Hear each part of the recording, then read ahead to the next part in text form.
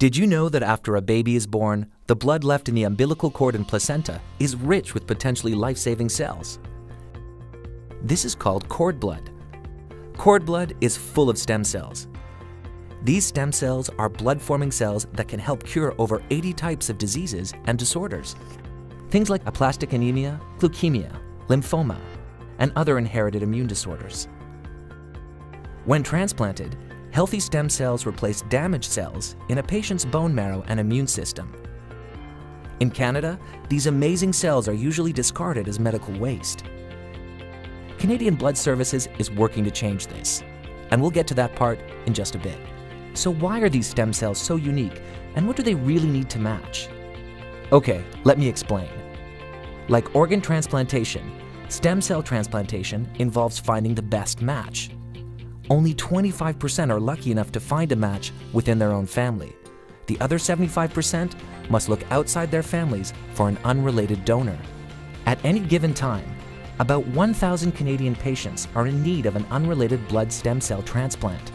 Unfortunately, about half of those people don't find one. Finding the right stem cell match is challenging, but scientists know there's a better chance of a match with someone who shares the same racial or ethnic heritage. So, cord blood donations from babies of diverse backgrounds will help meet the needs of Canada's ethnically diverse population. Canadian Blood Services Cord Blood Bank, a national and public healthcare resource, is dedicated to increasing the chances of finding more matches and helping to save lives. As of right now, you can donate at select hospitals in Vancouver, Edmonton, Ottawa, and Brampton. So how is cord blood collected? The collection begins after the safe arrival of a healthy baby and only takes three to five minutes. The process is safe and painless and poses minimal risk to the mother and baby. Once cut, the umbilical cord is cleaned and the cord blood is collected by a healthcare professional in one of the designated hospitals. A sterile needle is inserted into the umbilical cord and the blood is drawn. Okay, so now that you understand what stem cells are and how they're collected, you might be wondering, how much will it cost me to donate? Rest assured, your donation is your gift to someone in need and there is no cost for you to donate. So what's next? How are these stem cells used? Are they safe? First, the collected cells are sent to the Canadian Blood Services processing facilities and many tests are performed to ensure the safety and quality of each donation. Once testing is complete, information about the samples is entered into a national database.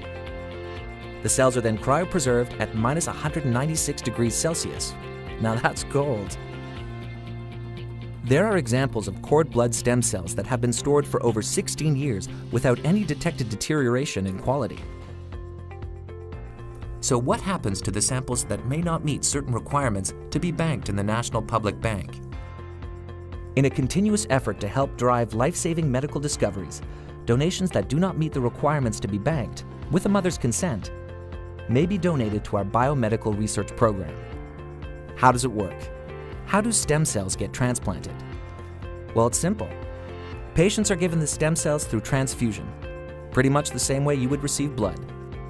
Now let's get into a bit of the science behind all of this, and you'll see, it's pretty fascinating. Once transplanted, stem cells get right to work and begin to divide and produce new blood cells. This stimulates the regeneration of unhealthy bone marrow.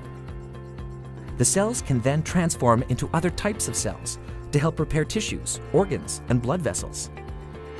The big question is how does Canadian Blood Services fit into all of this? Let me break it down. We manage the Cord Blood Bank, we recruit healthy donors and search for matches for all patients in need. And we coordinate the delivery of these potentially life-saving stem cells. No simple task. Canadian Blood Services Cord Blood Bank is also part of an international network of over 69 registries and 47 cord blood banks throughout the world. This gives us an even greater chance to find successful matches for Canadian patients. So now you know more about how cord blood saves lives and how you can help. For more information, visit blood.ca slash cordblood.